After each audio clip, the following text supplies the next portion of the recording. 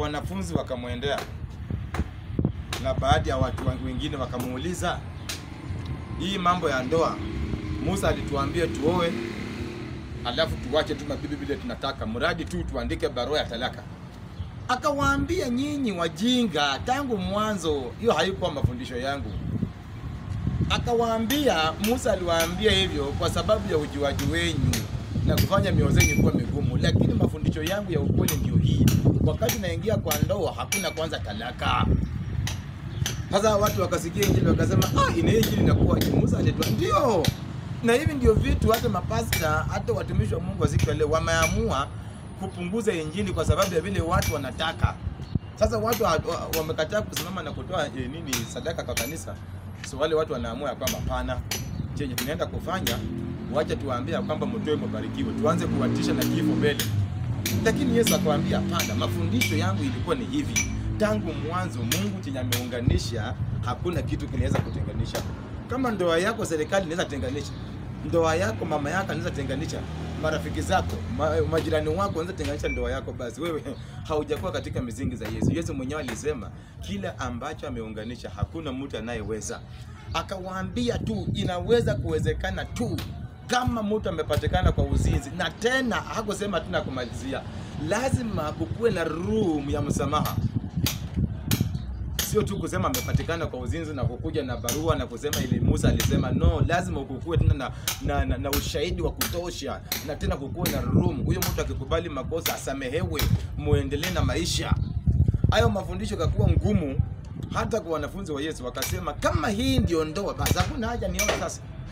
Mafundisho yalikuwa ngumu kwa wanafunzi wa Yesu na wale watu waliokuwa pale, wakasema kama hii ndio mafundisho Yesu unafundisha, basi hakuna haja ya ndoa.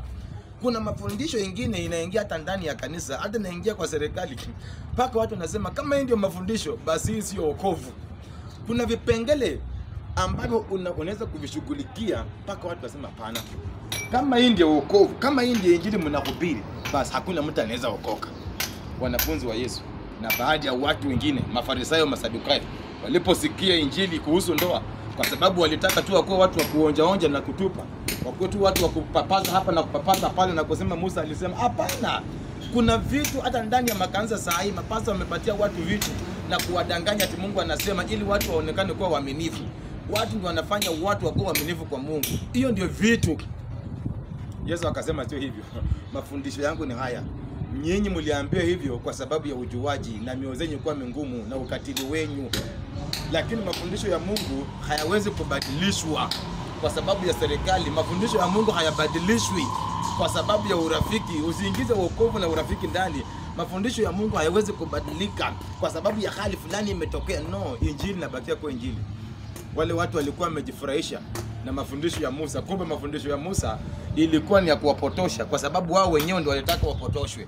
Na Musa akasema okay, mnataka hivyo, ndio siku ya leo hata katika makanisa mtu amekuja kanisani badala aambiwa kwamba mambo ya sadaka sio mambo tutabarikiwa, hii ni haki yako. Umekuja kwa kanisa, unalala hapo, ukikesha, umekuja hapo, unatumia stima ya hapo, unatumia hiyo maji, hiyo vitu si bure, hiyo vitu vinatumia pesa. Sio mtu kukudanganya kwamba atitoa ubarikiwe. Hiyo vitu, hata hiyo kitu imekalia ni pesa. Sasa mapasa akaona kwa sababu watu mmekuwa wakora, sasa wanakuja na mbinu, toweni mbarikiwe, pandeni mbegu, hadi sijui kumtoe pesa ya kuvunja madhabahu, kwa sababu ya ujeuri wenyu na ukora na ujuaji. Hamtaki kufanya kazi ya Mungu kama vile mnafanya katika nyumba zenyu. Akawaambia, lakini mafundisho ya Mungu yanakuja hata kwa mitume. Yale, yale, yale mafundisho yalikamata wanafunzi wa Yesu, yalikamata maposto na wainjilisi, wakasema kweli hii ndio ndoa yenye Yesu anatufundisha. Hakuna haja tuingie tena katika ndoa. Kwa sababu gani? Walitaka vitu vya kuwafurahisha.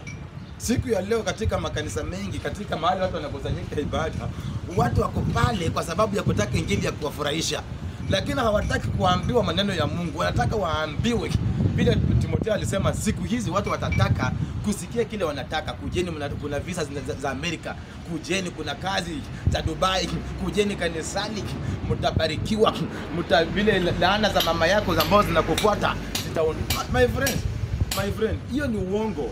Hiyo ni kwa sababu ya ujuaji wako, hautaki ukweli. Lakini mafundisho ya Yesu ni ya kwamba wewe ni kuamini Yesu na kukubaliana na mafundisho yake. Tena wakasikia ingine. Yesu akawa anafundisha kwamba itakuwa ni vigumu tajiri kuingia katika mbingu. Akasema akasema kwamba ni rahisi sana ngamia kupita katika tundu la shindano kuliko tajiri kuingia. Tena wakama, wanafunzi wakamgeukia wakamwambia mwalimu hii mafundisho yako ni ngumu bwana. Hii mafundisho haiwezekani. Kama yeye ndio mafundisho basi hakuna mtu anaweza okoka injili ilikuwa ngumu. Hata siku ya leo injili imekuwa ngumu kwa mitume bwana. Injili zimekuwa ngumu kwa mabishop. Injili imekuwa ngumu kwa wainjilisti. Injili imekuwa ngumu hata kwa wachungaji. Kwa sababu aliwaambia itakuwa rahisi kwa ngamia. Wakaona na macho yao ngamia kupita kwa tundu la sindano. Hawajui ya kwamba huyu mungu amesema yale ambayo hayawezekani hiyo ndio kazi yake. Wanataka kushughulika na akili zao katika injili. Akamwambia hapana ngamia itapita katika tundu la sindano na watu wakashituka na ile mafundisho wakasema hakuna mtu kuokoka. Tena akakuja na mafundisho mengine akawaambia sasa wakati imefika wakati ambapo lazima mkule mwili wangu na mkunywe damu yangu. Ah, walikuwa sabini na wawili. Wakasema kama hiyo ndio injili ya kukula damu ya, ya kunywa damu ya mtu na kukula mwili wa mtu hiyo haiwezekani. Na wote wakatoroka. So katika hii habari za wokovu lazima tujue ile njia ambayo hatufundishi watu yale mafundisho ambayo tunahitaji tunafundisha mtu mafundisho ile ambayo itamsaidia katika wokovu. So wale watu waliposikia mambo ya kukunywa damu wakasikia mambo ya, ya nini ya, ya kukula mwili wakasema hapana haiwezekani kula mwili wa mwanadamu. Because, kwa sababu walitaka kufafanua injili na mawazo yao. Walifikiri ni damu hii ya kawaida na mwili huu wa nyama. Hapana haikukuwa hivyo. Aliwafundisha sabini na wawili waliohubiri wale sabini na wawili wale waliotoa mapepo wale walioenda kila mahali wakiambia watu mkuje kwa yesu. Waliposikia ile injili imekuwa ngumu wakatoroka huyo yesu waliokuwa wakimtangaza wapendwa usifikiri ati injili ni kitu cha kukufurahisha. Itakufurahisha kama uko kwa mapenzi ya mungu. Lakini ukitaka kutembea kwa mawazo yako injili itakushiaga bwana. Itakuweka sawa. Uulize jeremaya alipoingia katika nyumba ya mfinyazi. Akapata mtu ako pale anatengeneza vitu bwana akitengeneza kitu aona hakiko sawa anakipomoa anakiharibu anakileta tena kuwe salama kwa utukufu wa mungu. So injili haikukuja kukufurahisha kama uko kwa mapenzi ya mungu.